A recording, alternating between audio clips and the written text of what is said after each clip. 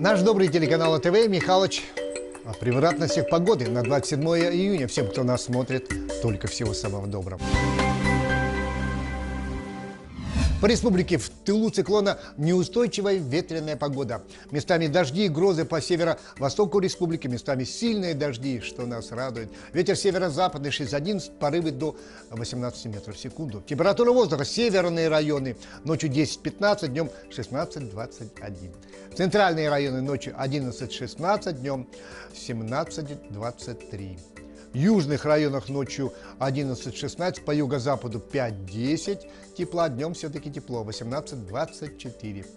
Наша обожаемая столица. Возможен небольшой дождь. Ветер северо-западный 8-13 метров в секунду. Температура ночью 13-15, днем 21-23 всего тепла. Атмосферное давление ночью будет расти до 709 миллиметров ртутного столба.